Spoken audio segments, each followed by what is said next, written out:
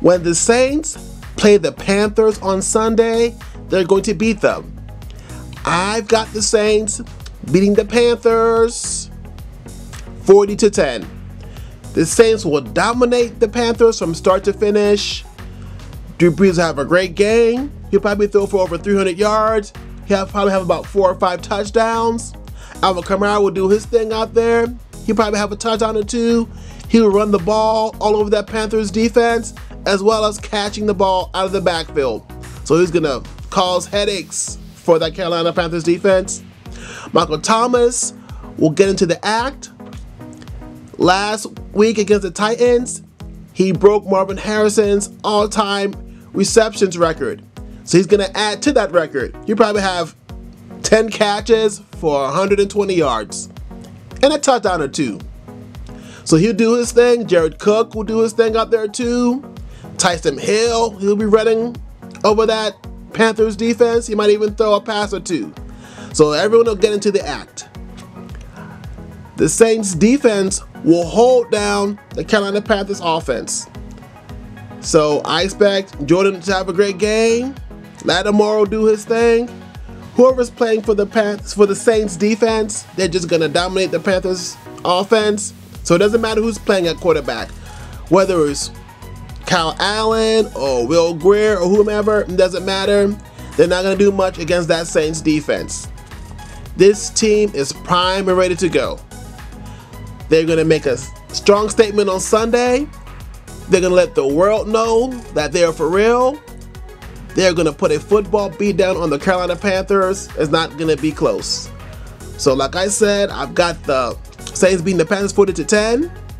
And as we know, the Panthers have pretty much melded in. They let go of Ron Rivera and Perry Fewell, I believe his name is. He's the interim head coach. So this, so the Panthers are looking forward to next season. I don't think they're going to be thinking much about this game, but hey, who knows? They're both NFC rivals, so maybe the Panthers might put forth a little bit more effort because it's a divisional game. But it's not going to be enough. I just mentally, I don't think that they're thinking about winning. I think they're more thinking about the future and who the next head coach is going to be. So their mind is not really going to be focused on this game as it should be. I just think there are too many distractions going on there, which would make it easier for the Saints to beat them. So I've got the Saints dominating Panthers on Sunday. It's just going to be a great game. Offensively, they're going to do their thing. And as we know, Sean Payton is going to have this team ready to play. He always has the Saints ready to play. The Saints always bring their A game and not their okay game. And we'll see that on Sunday. So after this game, the Saints will be 13 and 3. They're definitely going to make it to the playoffs. And they're going to march all the way on down to the Super Bowl. We'll be seeing them playing in Miami over there. Thanks for watching. Thanks for listening. You should definitely subscribe to my channel if you haven't done so already.